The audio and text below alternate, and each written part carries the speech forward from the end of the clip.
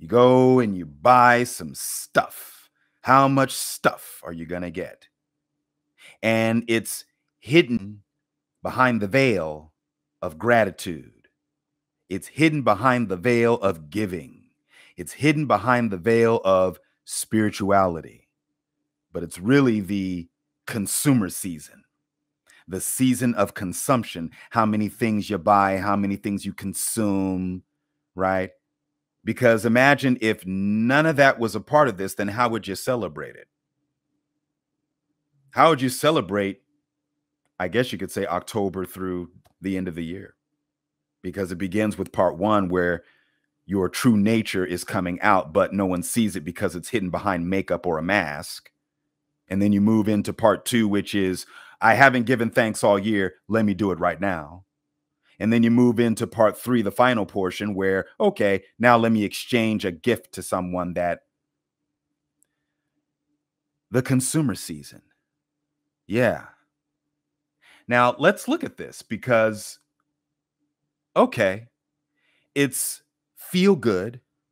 It's that feel good thing, the idea of this end of October through the end of the year, you know, feeling good and sharing and loving. Yeah, the theme of it, that's good.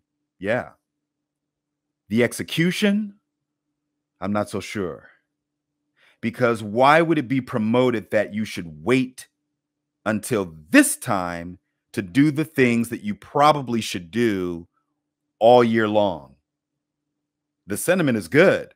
It the idea is great, but why are you waiting until the end? What why is it not I'm, I'm of course this have historical influences, you know. There's a lot. This goes back centuries, right? But I think of the modern age in terms of this. I think of today and what it potentially should morph into. And maybe it will, because a lot of people this season don't really necessarily have the financial input in order to engage the way that they normally would. Some people don't even care and they're just going to do it and they'll be damn near broke by the end. And there's some people that haven't been affected by it at all. But economists have said that this is going to be one of the most challenging uh, seasons here in 2021 as I release this episode. But the idea is great in terms of giving and sharing and loving and gatherings. That's good stuff. But let's look at the breakdown of all of this because you have what? You have family. Okay, great. Gathering of family. Could this be done all year long? Some families do this. Some families do this, whether you have a large one or a small one whether it's done through phone calls or whatever the case may be. It could be something that's done all throughout the year. Imagine if one day a month it was promoted to do that. And our system would adhere to this. One day a month, it's promoted and pushed or encouraged that you do that. One day a month. Okay. What's the other thing? Work. So you're given vacation time, depending on where you work, because some people work through this season. Uh, I remember what that was like. And it's interesting to see it from that lens because you're working while everyone is gathering and doing what they do. But of course, if there was a system that adhered to the idea of the family gathering, then the system would accommodate that. Because I think, what is it, in other regions, they have a shutdown, they have the siesta.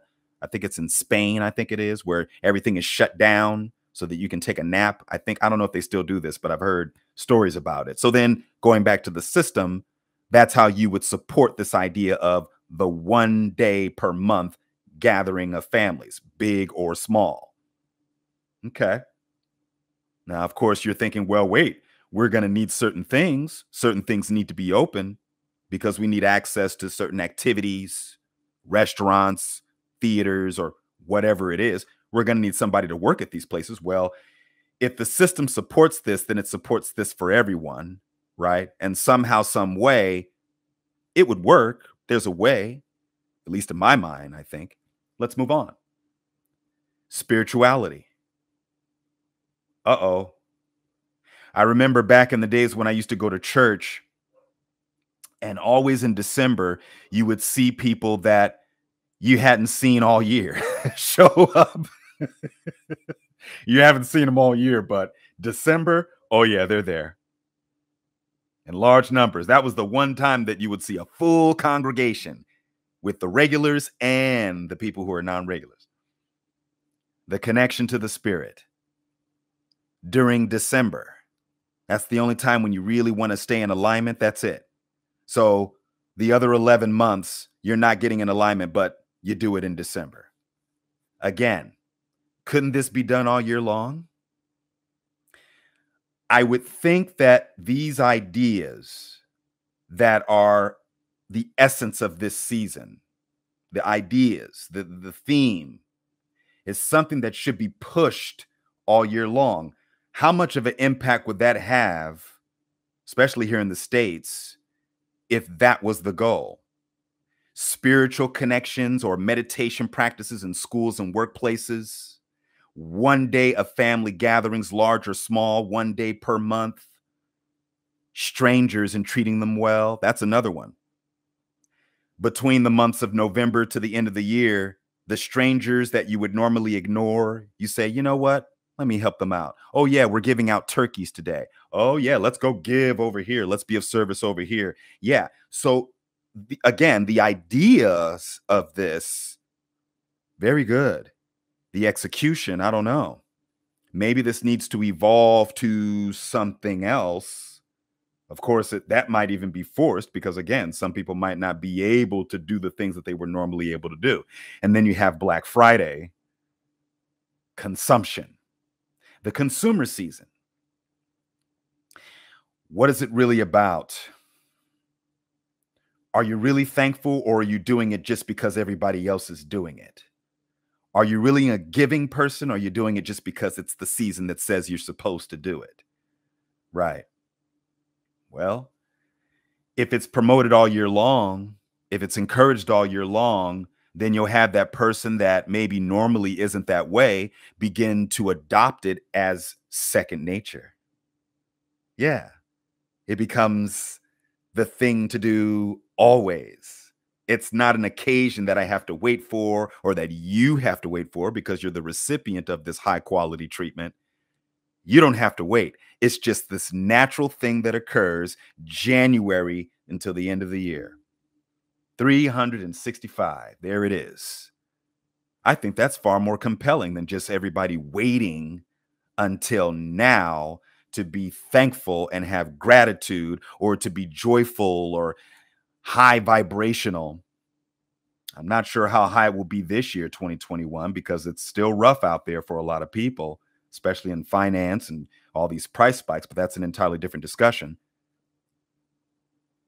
Something to think on, something to potentially consider. You know, this idea of not just being of service, but the vibration of it all. The vibration of it all, because it's a high vibration. You think of last year with 2020, what was the vibration of 2020 from March all the way to the end? fear and death. Fear and death. That was the overall vibration. The overall vibration, that's a very heavy vibration being thought of by so many people. And what did it do? You saw people losing their lives, didn't you? A lot of stress and tension and people just falling off, falling off, falling off. You're hearing about people transitioning and you're like, what? Wait, how? What? Yeah. Fear and death, all in 2020.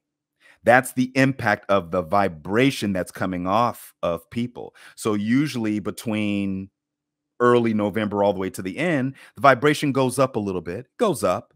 It goes up. You still have your tensions and arguments and you know, that sort of thing, but there's a vibration that elevates just a little, especially from those who don't do it usually. And so there's a high note, right? Now, take that same thing and stretch it over the entire course of the year. Stretch it out. What a different place. We'd be in a total, we would experience things totally differently. It would be an entirely different experience if that idea was pushed, if that was incorporated into the practice, if it no longer became about consumption and the things that you go out there and get, the things that you give to the things that you receive from, yeah, if that's eliminated, throw that out.